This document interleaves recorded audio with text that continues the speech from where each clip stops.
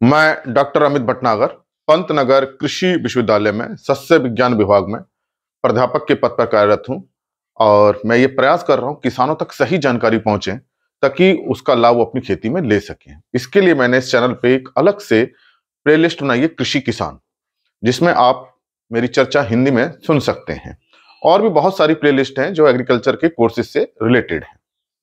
आज मैं बात करना चाहता हूँ यह है कि जो यूरिया खाद है, बहुत ज़्यादा प्रयोग की जाती है और इससे जुड़े हुए बहुत सारे भ्रम हैं।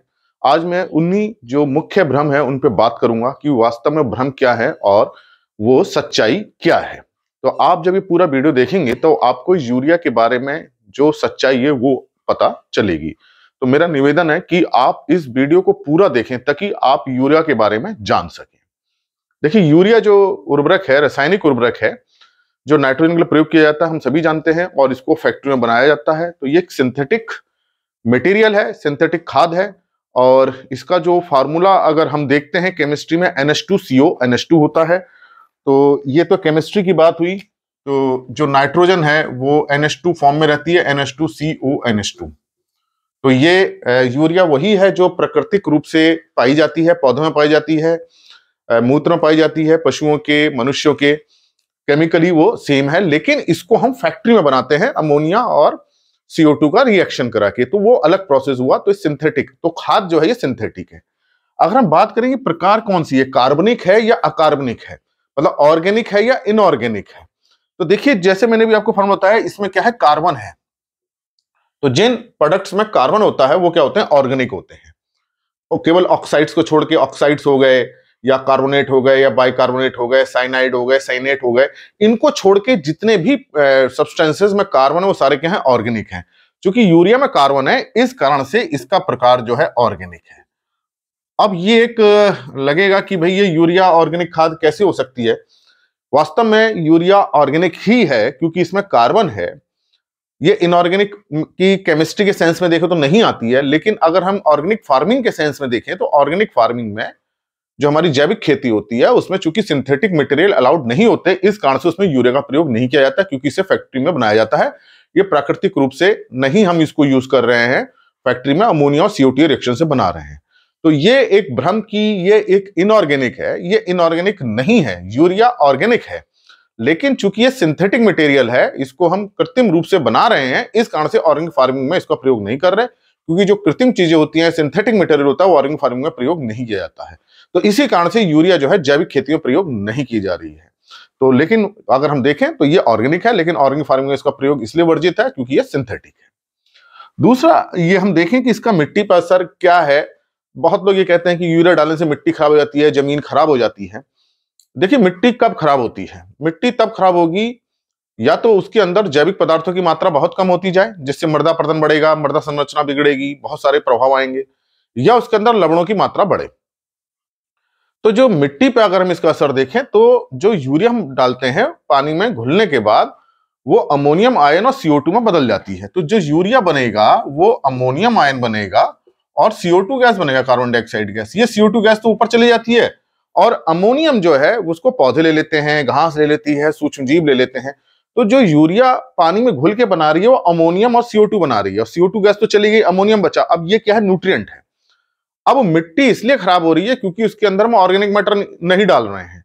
तो मिट्टी इसलिए खराब हुई क्योंकि हमने उसके अंदर जैवांश पदार्थ बाहर से नहीं मिलाए, गोबर की खाद नहीं मिलाई, या हमने कंपोस्ट नहीं मिलाया, उस कारण से खराब हुई।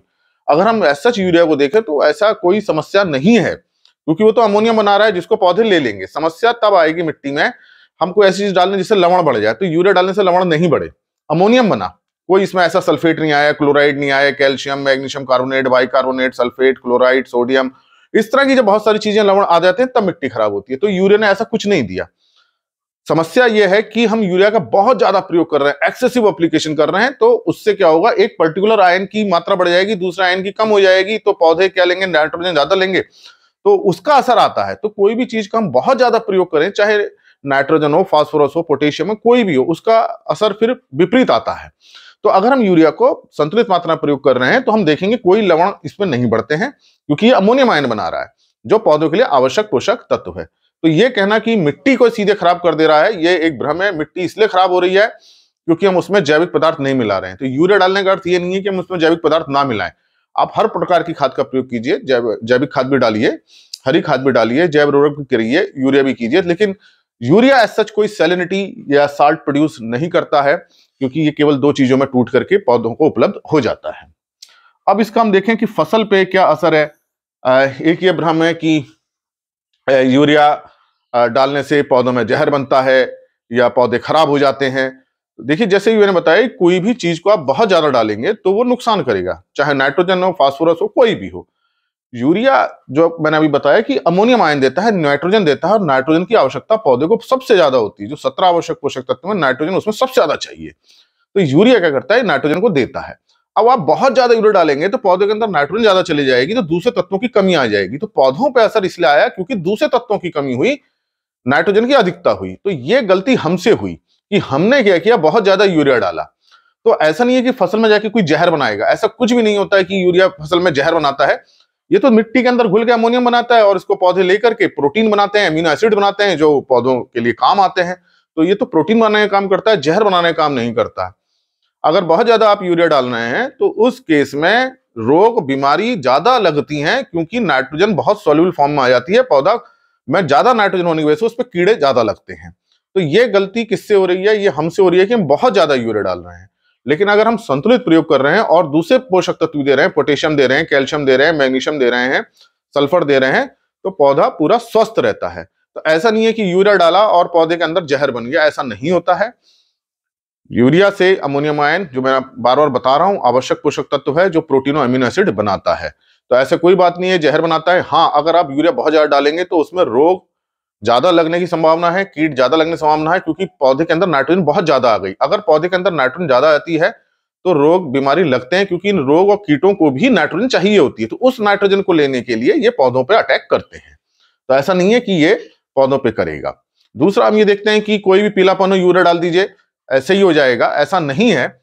यूरिया से चूँकि नाइट्रोजन मिलती है और नाइट्रोजन क्लोरोफिल का पार्ट है, क्लोरोफिल पर्णहरित जो है, वो उससे पत्तियों का रंग हरा होता है। ये बात सही है।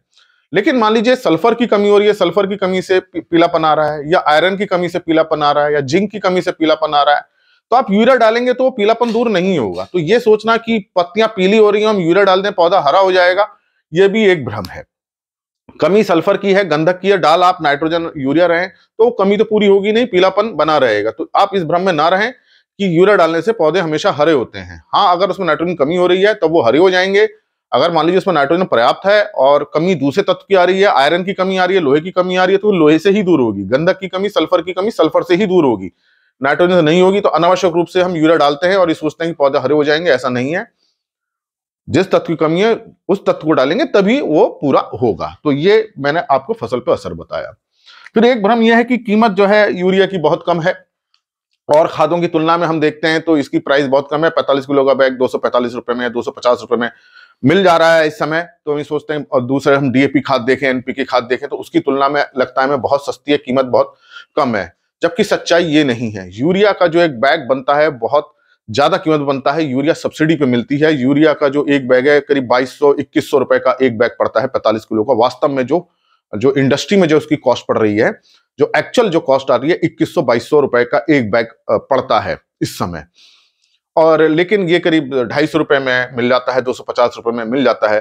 तो ये सोचना कि इसकी कीमत बहुत कम है, इसको बहुत डाल लें ये सब्सिडी पे मिल रही है। आप सोच लीजिए, जो चीज़ करीब दो हज़ार रुपए की है, बाईस सौ, इक्कीस सौ रुपए की है, वो हमको ढाई सौ रुपए मिल रही है तो कितनी ज़्यादा सब्सिडी है?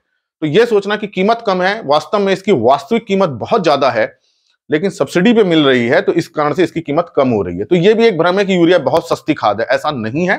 अगर वास्तविक हम इसकी कीमत देखते हैं तो बहुत ज़्यादा इसकी कीमत है।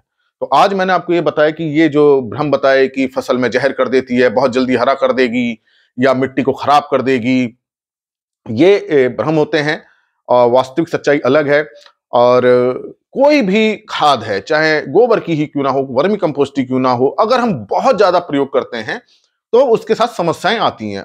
अधिकता अति जो होती है, हर चीज़ की बुरी होती है। यही यूरिया के साथ भी है कि यूरिया का बहुत ज़्यादा हम प्रयोग कर दे रहे हैं और दूसरे पोषक तत्वों को नहीं दे रहे। फास्फोरस को तो कम दे रहे हैं पोटेशियम को दे ही नहीं रहे माइक्रोन्यूट्रिएंट्स को दे ही नहीं रहे। तो ये समस्या आ रही है। तो समस्या यूरिया के देने से नहीं आई। समस्या इसलिए आई कि हमने दूसरे तत्वों को नहीं दिया, हमने जैविक खाद नहीं दी, हमने गोबर की खाद नहीं दी।